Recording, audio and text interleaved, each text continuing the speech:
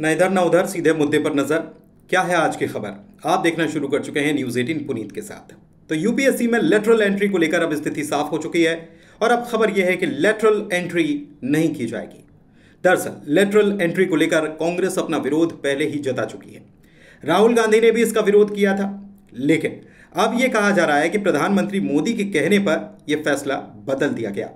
बाकायदा इसे लेकर केंद्रीय मंत्री जितेंद्र सिंह ने यूपीएससी के चेयरमैन को लिख दिया है और कहा है कि इसे लेकर जो नोटिफिकेशन जारी किया गया था, उसे रद्द किया जाए। इसके बाद अब इस नोटिफिकेशन को रद्द भी कर दिया गया है। आपको बता दें कि यूपीएससी की तरफ़ से बीती 17 अगस्त को ही लेटरल एंट्री भर्ती के लिए 45 पदों पर वैकेंसी निकाली गई थी।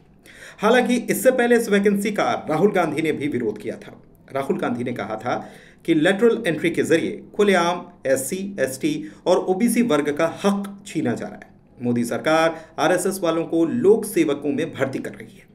इसके बाद राहुल गांधी को जवाब देते हुए कानून मंत्री अर्जुन राम मेघवाल की तरफ़ से कहा गया था कि पूर्व पीएम मनमोहन सिंह को लेटरल एंट्री के ज़रिए ही उन्नीस सौ छिहत्तर में फाइनेंस सेक्रेटरी मोन्टेक सिंह एलिवालिया को भी योजना आयोग का उपाध्यक्ष और सोनिया गांधी को नेशनल एडवाइजरी काउंसिल यानी कि एनएसी का चीफ बनाया गया था इसी लेटरल एंट्री के ज़रिए।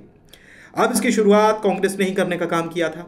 और अब प्रधानमंत्री मोदी ने यूपीएससी को नियम बनाने का अधिकार देकर लेटरल एंट्री सिस्टम को एक सिस्टमाइज करने का काम किया, व्यवस्थित करने का काम किया।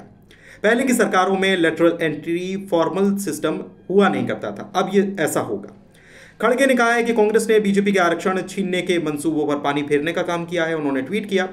केंद्र सरकार के लेटरल एंट्री नोटिफिकेशन को रद्द करने के फैसले पर कांग्रेस अध्यक्ष मल्लिकार्जुन खड़गे कह रहे हैं, लिख रहे हैं सोशल मीडिया एक्स पर कि हमारे दलित आदिवासी पिछड़े और कमज़ोर वर्ग के सामाजिक न्याय के लिए कांग्रेस पार्टी की लड़ाई जो लड़ी गई, इसकी वजह से बीजेपी के आरक्षण छीनने के मंसूबों पर पानी फिर गया है।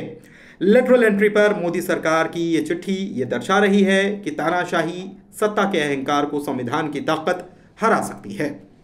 वैसे आपको बता दें कि इससे पहले अर्जुन राम मेघवाल ने यह आरोप लगाया था कि प्रधानमंत्री रहते हुए जवाहरलाल नेहरू ने भी 1961 में और राजीव गांधी ने विपक्ष का नेत, नेता रहते हुए लोकसभा में ओबीसी आरक्षण का विरोध किया था। लेटरल एंट्री सभी के लिए खुली है सभी वर्ग के लोग इसमें अप्लाई करते हैं। उनका यह भी दावा था कि हम आरक्षण खत्म कर रहे हैं जबकि आप भर्ती कर रहे थे जब उस वक्त तो आप क्या कर रहे थे? कानून मंत्री ने यह भी कहा कि अचानक राहुल गांधी का ओबीसी के प्रति प्रेम सामने आया है और वे सुप्रीम माफ़ कीजिएगा वे एस सी और ओबीसी के छात्रों को गुमराह करने की कोशिश कर रहे हैं। राहुल गांधी झूठ फैला रहे हैं और लोगों को गुमराह कर रहे हैं बार बार सरकारी आरोप लगा रही है और यूपीएससी जैसे संस्थानों की छवि को खराब करने की कोशिश राहुल गांधी की तरह की जा रही है, ये केंद्रीय मंत्री अर्जुनाम मेघवाल ने कहा। वैसे आपको बता दें कि सरकार में शामिल केंद्रीय मंत्री चिराग पासवान भी इसी लेटरल एंट्री का खुलकर विरोध कर चुके हैं। चिराग पासवान ने तो लेटरल एंट्री भर्ती पर प्रक्रिया पर ही सवाल उठा दिया था और उन्होंने कहा था कि सरकारी नियुक्ति में आरक्षण होना चाहिए और इसमें कोई किंतु परंतु होना ही नहीं चाहिए।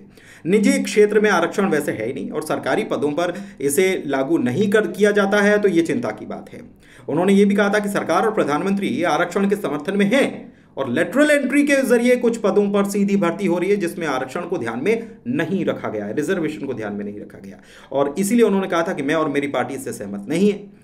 लेटरल एंट्री का मतलब क्या होता है? बिना एग्ज़ाम के सीधी भर्ती, इसका मतलब होता है। लेटरल एंट्री के ज़रिए केंद्र सरकार यूपीएससी के बड़े पदों पर प्राइवेट सेक्टर के एक्सपर्ट्स की सीधी भर्ती करती है। ये पहले भी घोषणा कर चुकी है। राजस्व, वित्त, आर्थिक, कृषि, शिक्षा जैसे सेक्टर में लंबे समय से काम कर रहे लोग इसमें शामिल किए जा सकते हैं।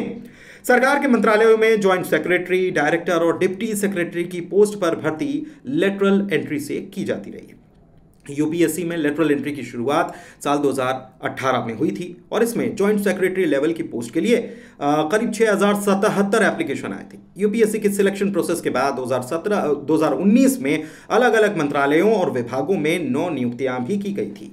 लेकिन अब चूँकि यूपीएससी को ये पत्र लिखकर नोटिफिकेशन जो जारी किया गया था, उसे रद्द करने की बात कह दी गई है, रद्द कर भी दिया गया है तो इस मामले पर अब सियासत और ज़ोर पकड़ सकती है, ऐसा लगता है, क्योंकि एक तरफ़ कांग्रेस ज़ाहिर तौर पर इसे अपनी कामयाबी बताएगी या अपनी जीत बताएगी, जबकि ये और पहले से कह दिया गया है कि ये हम रद्द कर रहे हैं, लेकिन प्रधानमंत्री के द्वारा, ये प्रधानमंत्री की पहल पर, प्रधानमंत्री नरेंद्र मोदी की पहल पर इसे रद्द करने के लिए हमने आपको कहा है यूपीएससी के चेयरमैन को। तो आप देखना होगा कि इस मामले पर सियासत और कैसे परवान चढ़ती है, राहुल गांधी की तरफ़ से क्या कुछ इस मामले में कहा जाता है, क्योंकि दूसरी तरफ़ मल्लिकार्जुन खड़गे जो हैं कांग्रेस के अध्यक्ष हैं राष्ट्रीय अध्यक्ष और उन्होंने तो आ, ये इस पूरी नोटिफिकेशन को रद्द होने का श्रेय कांग्रेस की तरफ़ लिया है और उन्होंने अपनी पार्टी को श्रेय श्रेय इसका दिया है और कहा है कि कहीं ना कहीं सरकार पर दबाव बना और इसकी वजह से ये रद्द करने का काम सरकार को करना पड़ा है। अब देखना होगा कि क्या जवाब सरकार की तरफ़ से इस मामले में